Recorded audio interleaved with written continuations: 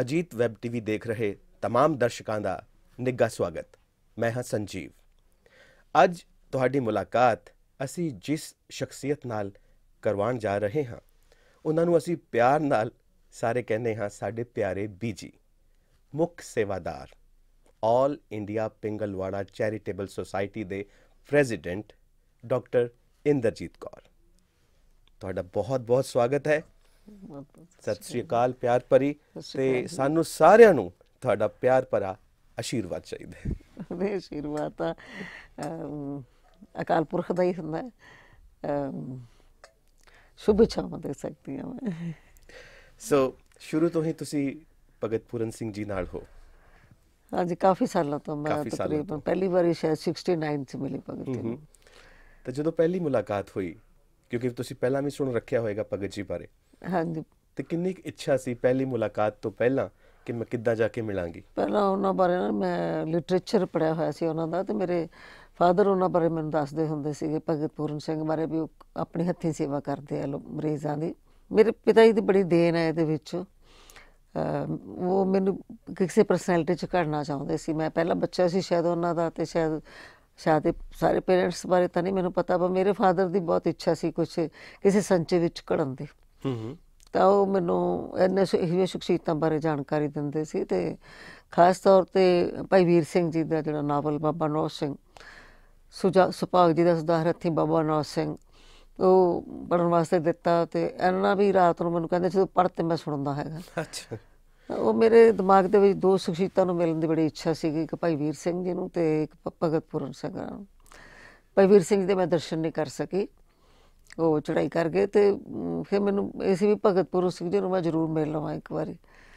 ਜਦੋਂ ਪਹਿਲੀ ਵਾਰੀ ਮੈਂ ਉਹਨਾਂ ਨੂੰ ਮਿਲੀ ਉਹਨਾਂ ਦਾ ਮੈਂ ਲਿਟਰੇਚਰ ਪੜਿਆ ਹੋਇਆ ਸੀ, ਸਾਹਿਤ ਪੜਿਆ ਹੋਇਆ ਸੀਗਾ। ਤੇ ਮੈਂ ਭਗਤ ਜੀ ਨੂੰ ਕਿਹਾ ਵੀ ਮੈਂ ਨਾ ਤੁਹਾਡਾ ਸਾਹਿਤ ਪੜਿਆ ਹੋਇਆ ਤੁਸੀਂ ਕਿਤੇ ਲਿਖਿਆ ਹੋਇਆ ਸੀ it is it is not the man which makes the dignity of the profession it is not the profession which makes the dignity of the man it is the man who makes the dignity of the profession ਤੇ ਭਗਤ ਜੀ ਨੂੰ ਜਿਹੜੀ ਬਹੁਤ ਗੱਲ ਚੰਗੀ ਲੱਗਦੀ ਹੁੰਦੀ ਸੀ ਨਾ ਫਿਰ ਉਹ ਇੰਜ ਕਰਕੇ ਤਾੜੀ ਮਾਰਦੇ ਹੁੰਦੇ ਸੀਗੇ ਕਹਿੰਦੇ ਹਾਂ ਗੁਰੂ ਨਾਨਕ ਦੇਵ ਜੀ ਨੇ ਬੜੀ ਵੱਡੀ ਉਮਰ 'ਚ ਜਾ ਕੇ ਖੇਤੀ ਕੀਤੀ ਤੇ ਖੇਤੀ ਨੂੰ ਉਤਮ ਕਰ ਦਿੱਤਾ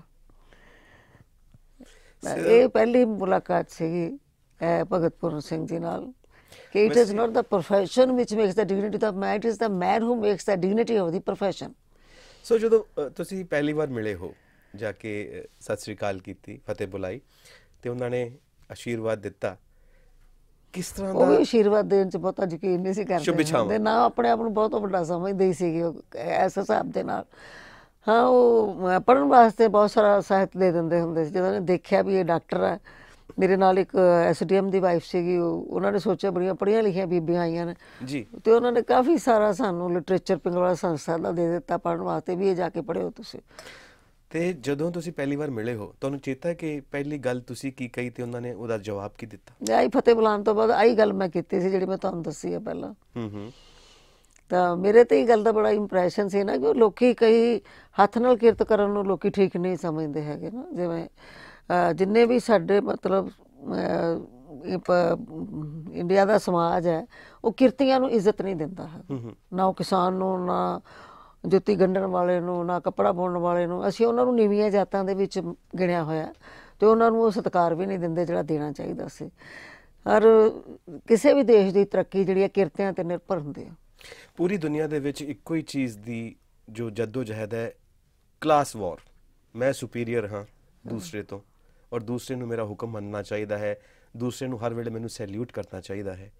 ਔਰ ਜੋ ਭਗਤ ਜੀ ਦੀਆਂ ਟੀਚਿੰਗਸ ਨੇ ਉਹਨਾਂ ਦੀਆਂ ਸਿੱਖਿਆਵਾਂ ਨੇ ਉਹ ਬਿਲਕੁਲ ਇਸ ਦੇ ਉਲਟ ਨੇ। ਉਹ ਕਹਿੰਦੇ ਨੇ ਕਿ ਇੱਕ ਇਨਸਾਨ ਦੂਸਰੇ ਇਨਸਾਨ ਦਾ ਸਤਿਕਾਰ ਕਰੇ ਸਾਥੀ ਬਣ ਕੇ ਜੀਏ ਮਿੱਤਰ ਬਣ ਕੇ ਜੀਏ।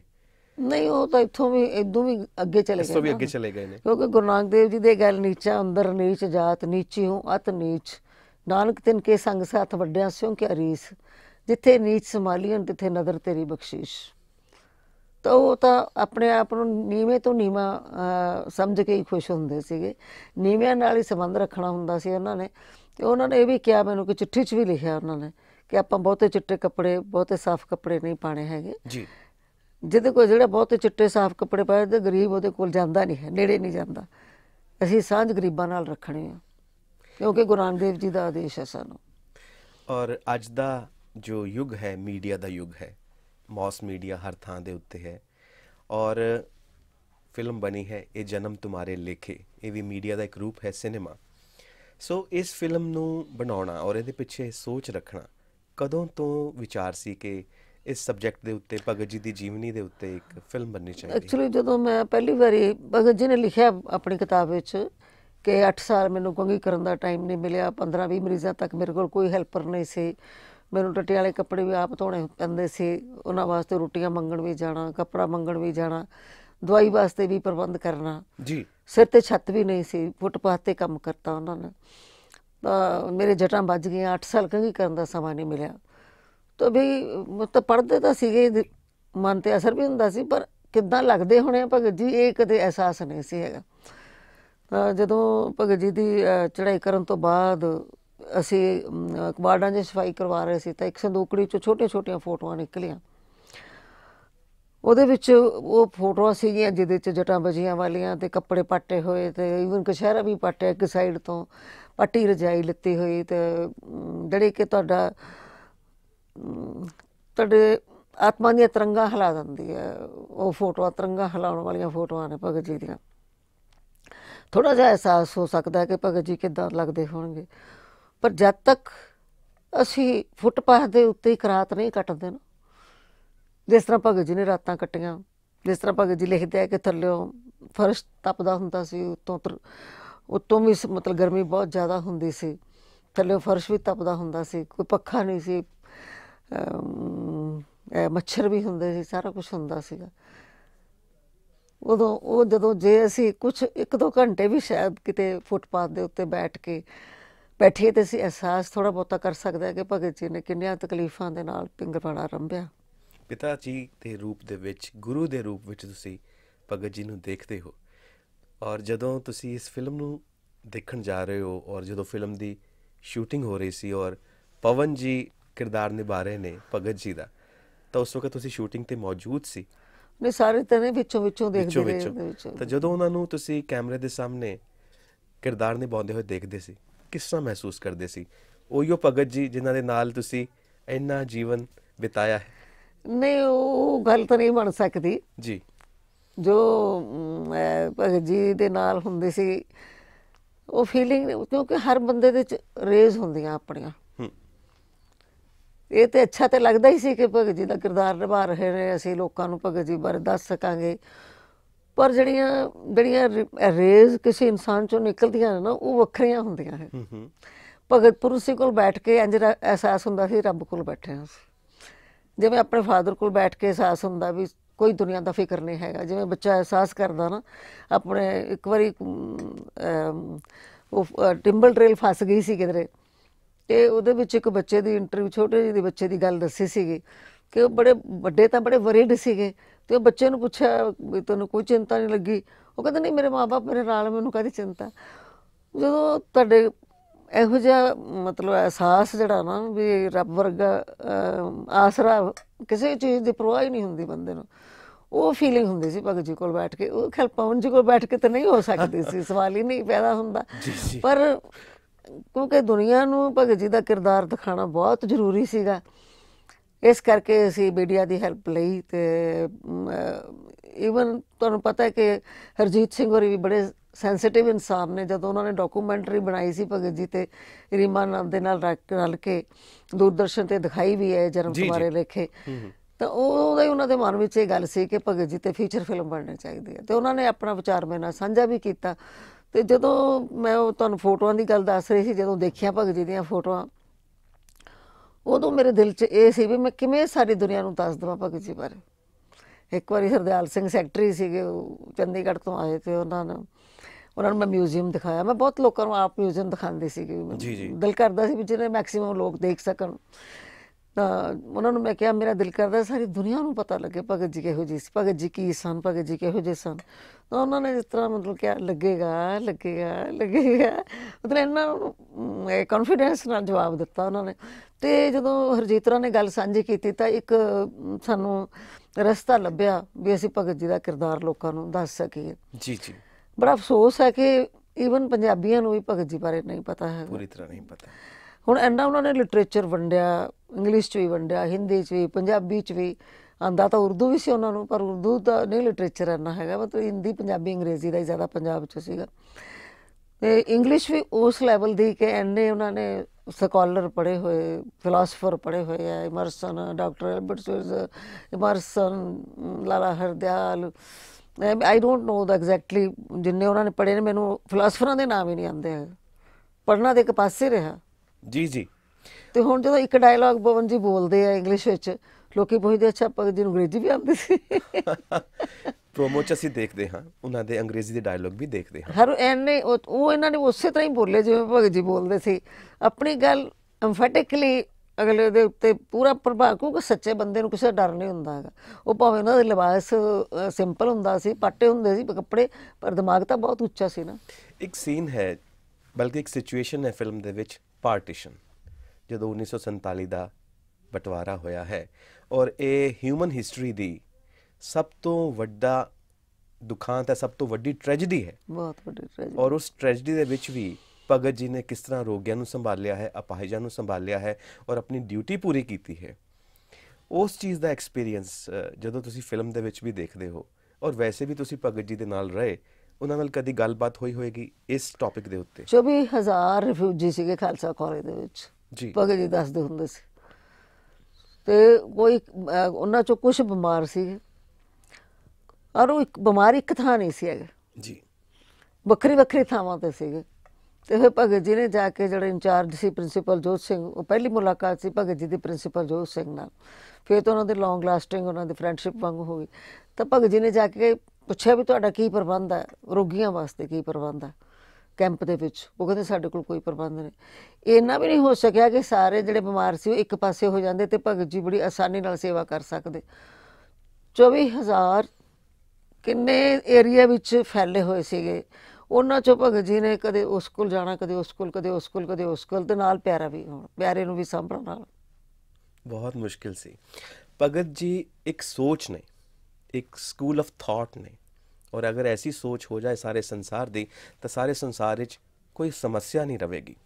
ਔਰ ਭਗਤ ਜੀ ਨੂੰ ਪੜਨ ਤੋਂ ਬਾਅਦ ਜੋ ਮੈਂ ਫੀਲ ਕਰਦਾ ਹਾਂ, ਮੈਨੂੰ ਅਹਿਸਾਸ ਹੁੰਦਾ ਹੈ, ਉਹ ਇਹ ਹੈ ਕਿ ਜੇ ਅਸੀਂ ਸਾਰੇ ਇਨਸਾਨ ਆਪਣੇ ਆਪ ਨੂੰ ਸੁਧਾਰ ਲਈਏ, ਮੈਂ ਆਪਣੇ ਆਪ ਨੂੰ ਸੁਧਾਰ ਲਵਾਂ, ਦੂਸਰਾ ਆਪਣੇ ਆਪ ਨੂੰ ਸੁਧਾਰ ਲਵੇ, ਬਜਾਏ ਦੂਸਰੇ ਨੂੰ ਸੁਧਾਰਨ ਦੇ ਅਸੀਂ ਆਪਣੇ ਆਪ ਨੂੰ ਸੁਧਾਰ ਲਈਏ, ਤਾਂ ਸਾਰਾ ਸਮਾਜ ਸੁਧਰ ਜਾਏਗਾ। ਔਰ ਆਪਣੇ ਆਪਣੇ ਘਰ ਨੂੰ ਸੰਭਾਲ ਲਈਏ, ਤਾਂ ਸਾਰਾ ਸਮਾਜ, ਸਾਰਾ ਦੇਸ਼, ਸਾਰੀ ਦੁਨੀਆ ਸੰਭਲ ਜਾਏਗੀ। ਮੈਂ ਠੀਕ ਕਹਿ ਰਿਹਾ। ਇਹ ਸੋਚ ਕੇ ਹੀ ਬਣਾਈ ਸੀ ਕਿਉਂਕਿ ਅੱਜ ਜੋ ਨੈਤਿਕ ਕਦਰਾਂ ਕੀਮਤਾਂ ਦਾ ਘਾਣ ਹੋ ਰਿਹਾ ਹੈ ਜੀ ਜੀ। ਜੋ ਪੜ੍ਹੇ ਲਿਖੇ ਘੁਟਾਲੇ ਕਰ ਰਹੇ ਨੇ। ਹੂੰ ਹੂੰ। ਪੜ੍ਹਾਈ ਲਿਖਾਈ ਦੇ ਵਿੱਚ ਕਿੰਨੀ ਕਮੀ ਹੈ ਸਾਡੇ ਕਿ ਪੜ੍ਹ ਲਿਖ ਕੇ ਅਸੀਂ ਆਪਣਾ ਸੱਚ ਨਹੀਂ ਬੋਲਦੇ ਅਸੀਂ ਦਸਾਂ ਨੂੰ ਦੀ ਕਿਰਤ ਨਹੀਂ ਕਰਦੇ ਅਸੀਂ ਧੋਖਾ ਦੇਣਾ ਸਿੱਖ ਜਾਂਦੇ ਅਗਲੇ ਨੂੰ। ਹੂੰ। ਫਿਰ ਡਰੱਗ ਐਡਿਕਸ਼ਨ ਦੀ ਹੈ ਫਿਰ ਭਰੂਣ ਹੱਤਿਆ ਦੀ ਹੈ ਫਿਰ ਗੈਂਗ ਰੇਪ ਹੋ ਰਹੇ ਨੇ ਮਤਲਬ ਸੰਸਾਰ ਘਰ ਟੁੱਟ ਰਹੇ ਨੇ। ਸਭ ਤੋਂ ਵੱਡਾ ਨੁਕਸਾਨ ਹੈ ਕਿ ਘਰ ਟੁੱਟ ਰਹੇ ਨੇ। ਈਵਨ ਹਸਬੈਂਡ ਵਾਈਫ ਟੁੱਟ ਰਹੇ ਨੇ ਡਿਵੋਰਸ ਹੋ ਰਹੇ ਨੇ। ਅਸੀਂ ਜਾ ਕਿੱਧਰ ਨੂੰ ਰਹੇ ਹਾਂ? ਸਾਡਾ ਸਾਡਾ ਕਲਚਰ ਕੀ ਹੈ ਇੰਡੀਆ ਦਾ? ਸਾਰੀ ਕਦੇ ਕਈ ਜਨਮਾਂ ਦੇ ਸਾਥੀ ਜਿਹੜਾ ਮੈਰਿਜ ਦੀ ਐਡੀ ਸੈਂਕਟੀਟੀ ਸੀਗੀ, ਤੇ ਅੱਜ ਗੱਲ ਹੋ ਰਹੀ ਹੈ ਕਿ ਤੁਸੀਂ ਮੈਰਿਜ ਤੋਂ ਬਿਨਾਂ ਵੀ ਇਕੱਠੇ ਰਹਿ ਸਕਦੇ ਹੋ। ਇਹ ਕਿੱਧਰ ਨੂੰ ਜਾ ਰਿਹਾ ਸਾਡਾ ਸਮਾਜ? ਇਹਦੇ ਵਾਸਤੇ ਚਾਹੀਦਾ ਸੀ ਕੋਈ ਰੋਲ ਮਾਡਲ ਜਿਹੜਾ ਇਹੋ ਜਿਹਾ ਕਿਰਦਾਰ ਜਿਹਨੇ ਨਿਭਾਇਆ ਹੋਵੇ, ਜਿਹਨੇ ਡੈਡੀਕੇਸ਼ਨ ਜਿਹਨੂੰ ਦੇਣ ਦੀ ਜਾਚ ਹੋਵੇ, ਲੋਕਾਂ ਨੂੰ ਲੈਣ ਦੀ ਖੋਣ ਦੀ ਜਾਚ ਹੈ, ਦੇਣ ਦੀ ਜਾਚ ਹੀ ਨਹੀਂ ਹੈ। ਜੀ। ਜਿਹਨੇ ਸਾਰੀ ਉਮਰ ਦਿੱਤਾ ਹੀ ਦਿੱਤਾ ਹੋਵੇ। ਕਿਸੇ ਕੋਲੋਂ ਇਹ ਵੀ ਨਹੀਂ ਉਮੀਦ ਕੀਤੀ ਭਗਤ ਜੀ ਨੇ ਕਿ ਮੇਰੀ ਬਿਮਾਰੀ 'ਚ ਕੋਈ ਸੇਵਾ ਕਰੇਗਾ। ਅਕਸਰ ਹੀ ਮੈਨੂੰ ਕਹਿੰਦੇ ਹੁੰਦੇ ਸੀ ਕਿ ਮੇਰਾ ਕਿਹੜਾ ਕੋਈ ਹੈ ਮੈਂ ਤਾਂ ਸੜਕਾਂ ਤੇ ਰੁਲ ਕੇ ਮਰਨਾ। ਉਹ ਫਿਰ ਜਦੋਂ ਮੇਰੇ ਨਾਲ ਜ਼ਿਆਦਾ ਨੇੜਤਾ ਹੋ ਗਈ ਪਰਿਵਾਰਕ ਹੋ ਗਿਆ ਸੰਬੰਧ ਜੇ ਹੋ ਗਏ ਮੈਨੂੰ ਆਪਣੀ ਧੀ ਮੰਨਣ ਲੱਗੇ ਫਿਰ ਉਹ ਕਹਿਣ ਲੱਗੇ ਨਹੀਂ ਹੁਣ ਮੇਰਾ ਕਿੱਲਾ ਸੰਗਰੂਰ ਵੱਜਾ ਹੋਇਆ। ਐਨਿਆਂ ਦੀ ਸੇਵਾ ਕਰਕੇ ਵੀ ਬੰਦਾ ਇੰਨਾ ਕੁ ਵੀ ਐਕਸਪੈਕਟ ਨਾ ਕਰੇ ਕਿਸੇ ਕੋਲੋਂ। ਬਹੁਤ ਵੱਡੀ ਸ਼ਖਸੀਅਤ ਸੀ ਭਗਤ ਪੂਰਨ ਸਿੰਘ ਜੀ ਜਿੰਨਾ ਅਸੀਂ ਕੋਸ਼ਿਸ਼ ਕੀਤੀ ਹੈ ਦਿਖਾ ਸਕੇ ਆ ਲੋਕਾਂ ਨੂੰ ਪਰ ਇਹਦੇ ਨਾਲ ਵੀ ਮੈਂ ਉਮੀਦ ਕਰਦੀ ਹਾਂ ਕਿ ਕਾਫੀ ਅਸਰ ਪਏਗਾ ਔਰ ਅਜੇ ਵੀ ਬਹੁਤ ਲੋਕੀ ਐਸੇ ਨੇ ਜਿਹੜੇ ਭਗਤ ਜੀ ਨੂੰ ਬਹੁਤ ਜ਼ਿਆਦਾ ਪਿਆਰ ਕਰਦੇ ਆ। ਇਸ ਮੂਵੀ ਦੇ ਜ਼ਰੀਏ ਉਹ ਅਸਰ ਸਮਾਜ ਵਿੱਚ ਪਹੁੰਚੇਗਾ। ਪਹੁੰਚੇਗਾ ਜ਼ਰੂਰ। ਅਸੀਂ ਕੋਸ਼ਿਸ਼ ਅਸੀਂ ਸਮਾਜ ਵਾਸਤੇ ਹੀ ਇਹ ਸਾਰਾ ਕੁਝ ਕੀਤਾ। ਸਮਾਜ ਵਾਸਤੇ ਕੀਤਾ। ਅੱਛਾ ਇੱਕ ਪਿਆਰਾ ਜਿਹਾ ਕੁਐਸਚਨ ਜੋ ਅਸੀਂ ਸ਼ੁਰੂਆਤ ਵਿੱਚ ਕੀਤਾ ਸੀ ਕਿ ਸਾਡੇ ਪਿਆਰੇ ਬੀਜੀ ਜੋ ਅਸੀਂ ਤੁਹਾਨੂੰ ਪਿਆਰ ਨਾਲ ਕਹਿੰਦੇ ਹਾਂ ਇਹ ਨਾਮ ਪਿਆਰੇ ਬੀਜੀ ਸਾਡੇ ਇਹ ਨਾਮ ਵੀ ਭਗਤ ਜੀ ਨੇ ਦਿੱਤਾ ਹੈ ਨਾ ਤੁਹਾਨੂੰ ਉਹ ਉਹਨਾਂ ਨੇ ਮੇਰਾ ਨਾਂ ਹੀ ਬੀਬੀ ਰੱਖ ਦਿੱਤਾ। ਜੀ। ਇਹਦੇ ਪਿੱਛੇ ਵੀ ਇੱਕ ਬੜੀ ਵੱਡੀ ਗੱਲ ਹੈ ਕਿ ਜਦੋਂ ਭਗਤ ਜੀ 80 ਚ ਬਿਮਾਰ ਹੋਏ ਜੀ ਜੀ। ਕਿਉਂਕਿ ਉਸ ਤੋਂ ਪਹਿਲਾਂ 75 ਵਿੱਚ ਮੇਰੇ ਫਾਦਰ ਦੇ ਭੋਗ ਤੇ ਗਏ ਸੀ ਤੇ ਉੱਥੇ ਸਾਡਾ ਐਗਰੀਮੈਂਟ ਹੋ ਗਿਆ ਸੀ ਕਿ ਭਗਤ ਜੀ ਨੇ ਲਿਖ ਕੇ ਚਿੱਠੀ 'ਚ ਭੇਜਿਆ ਕਿ ਅੱਜ ਤੋਂ ਬਾਅਦ ਮੈਂ ਆਪਣੇ ਆਪ ਨੂੰ ਤੁਹਾਡੇ ਪਰਿਵਾਰ ਦਾ ਬਜ਼ੁਰਗ ਸਮਝਦਾ। ਤੇ ਤੁਸੀਂ ਭੈਣ ਭਰਾਵਾਂ ਨੇ ਬੱਚਿਆਂ ਦੇ ਰੂਪ 'ਚ ਪੇਸ਼ ਹੋ ਕੇ ਮੈਨੂੰ ਪਰਿਵਾਰ ਤੋਂ ਸਖਣਾ ਨਹੀਂ ਰਹਿਣ ਦਿੱਤਾ। ਵੀ ਅੱਜ ਕੱਲ੍ਹ ਮੇਰਾ ਪਰਿਵਾਰ ਬਣ ਗਿਆ। ਜੀ ਜੀ। ਹੀ ਐਕਸੈਪਟਡ ਸਾਰੇ ਸਾਰੇ ਭੈਣ ਭਰਾਵਾਂ ਨੂੰ ਅਡਾਪਟ ਕਰ ਲਿਆ ਉਹਨਾਂ ਨੇ ਆਪਣਾ ਪਰਿਵਾਰ ਸਮਝ ਲਿਆ ਉਹਨਾਂ ਨੂੰ। ਜਦੋਂ ਅਸੀਂ ਚ ਬਿਮਾਰ ਹੋਏ ਤੇ ਜਦੋਂ ਮੈਨੂੰ ਪਤਾ ਲੱਗਾ ਬਿਮਾਰ ਨੇ ਤੇ ਨੈਚੁਰਲੀ ਜਦੋਂ ਸਾਡੇ ਉਹ ਬਜ਼ੁਰਗ ਬਾਣੀ ਸੀ ਗਏ ਸੀ ਤੇ ਮੈਂ ਜਾਣਾ ਹੀ ਸੀ ਉਹਨਾਂ ਨੂੰ ਬਿਮਾਰੀ ਦੇ ਵਿੱਚ। ਪਰ ਤੁਹਾਨੂੰ ਮੈਂ ਦੱਸਿਆ ਵੀ ਕੁ ਵੀ ਉਮੀਦ ਨਹੀਂ ਸੀ ਕਰਦੇ ਕਿਸੇ ਕੋਲੋਂ। ਤੇ ਸਾਡ ਮੇਰੇ ਦਿਲ ਵਿੱਚ ਤਾਂ ਜਿਵੇਂ ਆਪਣੇ ਫਾਦਰ ਲਈ ਰਿਸਪੈਕਟ ਸੀ ਉਹਨੇ ਭਗਤ ਜੀ ਲਈ ਰਿਸਪੈਕਟ ਸੀ। ਮੈਨੂੰ ਭਗਤ ਜੀ ਦੇ ਕੰਪਲਿਕੇਸ਼ਨ ਹੋ ਗਈਆਂ ਤੇ ਮੈਨੂੰ ਰਹਿਣਾ ਪਿਆ ਉੱਥੇ ਹਸਪੀਟਲ 'ਚ ਹੀ ਰਹਿਣਾ ਪਿਆ ਵੀ 25 ਦਿਨ। ਮੇਰਾ ਤਾਂ ਕਲੀਨਿਕ ਬੰਦ ਹੀ ਸੀਗਾ ਸਮਝ ਲਓ ਫਿਰ ਉਸ ਤੋਂ ਬਾਅਦ ਡਾਕਟਰ ਨਾ ਹੋਵੇ ਤਾਂ ਕਲੀਨਿਕ ਤੇ ਕਿ ਕਿੰਨੇ ਆਣਾ ਹੁੰਦਾ। ਜੀ ਜੀ। ਕੰਮ ਘਟ ਗਿਆ ਕਾਫੀ ਮਤਲਬ ਤੇ ਭਗਤ ਜੀ ਨੂੰ ਫਿਰ ਬੜਾ ਲੱਗਿਆ ਅਜੀਬ ਲੱਗਾ ਵੀ ਬੀਬੀ ਕਿੱਥੋਂ ਆ ਗਈ ਹੈ। ਉਹਨਾਂ ਨੇ ਨਾ ਫਿਰ ਬੜੇ ਅਜੀਬ ਜਿਹੇ ਢੰਗ ਨਾਲ ਮੈਨੂੰ ਯਾਦ ਕਰਦੇ ਸੀਗੇ। ਜਦੋਂ ਮੈਂ ਨਾ ਵੀ ਹੋਵਾਂ ਫਿਰ ਵੀ ਕਿਸੇ ਸੇਵਾਦਾਰੀ ਨੂੰ ਕਹਿਣਾ ਬਾਹਰ ਦੇਖ ਬੀਬੀ ਤਾਂ ਨਹੀਂ ਜਾਂਦੀ ਪਈ। Used to remember me like more like even more than my parents ਇੰਨਾ ਪਿਆਰ ਦਿੱਤਾ ਉਹਨਾਂ ਨੇ ਮੈਨੂੰ ਉਹ ਉਹ- ਉਹ ਪਿਆਰ ਹੀ ਹੈ ਜਿਹੜਾ ਸਾਨੂੰ ਖਿੱਚੀ ਫਿਰਦਾ। ਔਰ ਸਾਨੂੰ ਵੀ ਤੁਹਾਡਾ ਪਿਆਰ ਹੀ ਖਿੱਚੀ ਫਿਰਦਾ ਹੈ। ਔਰ ਅਸੀਂ ਸ਼ੁਕਰੀਆ ਤਾਂ ਨਹੀਂ ਕਵਾਂਗੇ। ਅਸੀਂ ਕਵਾਂਗੇ ਸਾਡੇ ਧੰਨ ਭਾਗ ਤੁਸੀਂ ਸਾਡੇ ਸਟੂਡੀਓ ਵਿੱਚ ਆਏ ਔਰ ਇਸੇ ਤਰ੍ਹਾਂ ਆਂਦੇ ਰਹੋ। ਸਾਨੂੰ ਆਪਣੀਆਂ ਸ਼ੁਭ ਇੱਛਾਵਾਂ ਦਿੰਦੇ ਰਹੋ। ਤੁਹਾਡਾ ਵੀ ਧੰਨਵਾਦ। ਮੈਂ ਭਗਤ ਜੀ ਦੀ ਗੱਲ ਕਹਿ ਸਕੀ। ਭਗਤ ਜੀ ਦੀ ਗੱਲ ਪਵਨ ਜੀ ਦਾ ਵੀ ਧੰਨਵਾਦ ਜਿਹੜੇ ਸਾਡੇ ਇੱਕ ਪਰਿਵਾਰ ਦੇ ਮੈਂਬਰ ਬਣ ਗਏ ਆ ਹੁਣ। ਉਹ ਜੋ ਮਰਜ਼ੀ ਕਹੀ ਜਾਣ ਉਹਨਾਂ 'ਚ ਚੇਂਜ ਹੈ ਹੀ ਹੈ। ਉਹ ਰਹੇਗੀ ਹਰ ਦਿਨੋਂ ਦਿਨ ਵਧੇਗੀ। ਜੀ। ਔਰ ਸਾਡੇ ਵੱਲੋਂ ਬਹੁਤ ਬਹੁਤ ਸ਼ੁਭ ਕਾਮਨਾਵਾਂ ਕਿ ਇਹ ਫਿਲਮ ਸਫਲ ਰਵੇ ਔਰ ਜੋ ਮੈਸੇਜ ਦੇਣਾ ਚਾਹੁੰਦੇ ਹੋ ਤੁਸੀਂ ਸਮਾਜ ਨੂੰ ਇਹ ਮੈਸੇਜ ਸਮਾਜ ਤੱਕ ਪਹੁੰਚੇ ਔਰ ਸਮਾਜ ਵਿੱਚ ਸੁਧਾਰ ਹੋਵੇ। ਹਾਂ ਚਲੋ ਅਸੀਂ ਸਾਰੇ ਖੁਸ਼ਹਾਲ ਜੀਵਨ ਬਤੀਤ ਕਰੀਏ। ਸੱਚੇ ਸੁੱਚੇ ਇਨਸਾਨ ਬਣੀਏ ਭਗਤ ਜੀ ਦਾ ਇਹ ਸੁਨੇਹਾ ਹੈ ਕਿ ਦੇਸ਼ ਬਚੇਗਾ ਤਾਂ ਜੇ ਅਸੀਂ ਸੱਚ ਦੇ ਆਧਾਰ ਤੇ ਆਪਣਾ ਜੀਵਨ ਗੁਜ਼ਾਰਾਂਗੇ। ਤੇ ਵਾਹਿਗੁਰੂ ਕਰੇ ਇਹ ਸੁਨੇਹਾ ਸਾਰੇ ਥਾਂ ਪਹੁੰਚੇ। ਬੇਨਤੀ ਹੈ ਸਾਰੇ ਸੰਗਤ ਨੂੰ ਵੀ ਜਰੂਰ ਇਹ ਫਿਲਮ ਦੇਖੋ ਔਰ ਸੰਸਾਰ ਨੂੰ ਸੋਹਣਾ ਬਣਾਉਣ ਵਿੱਚ ਆਪਣਾ ਯੋਗਦਾਨ ਪਾਓ। ਅਸੀਂ ਉਮੀਦ ਕਰਦੇ ਹਾਂ ਕਿ ਇਸੇ ਤਰ੍ਹਾਂ ਹੀ ਪਿਆਰੀਆਂ ਪਿਆਰੀਆਂ ਸ਼ਖਸੀਅਤਾਂ ਨੂੰ ਤੁਹਾਡੇ ਰੂਬਰੂ ਕਰਦੇ ਰਵਾਂਗੇ। ਬਹੁਤ ਬਹੁਤ ਸ਼ੁਕਰੀਆ। ਤੁਸੀਂ ਸਾਡੇ ਨਾਲ ਜੁੜੇ ਰਹੇ। ਸਤਿ ਸ੍ਰੀ ਅਕਾਲ।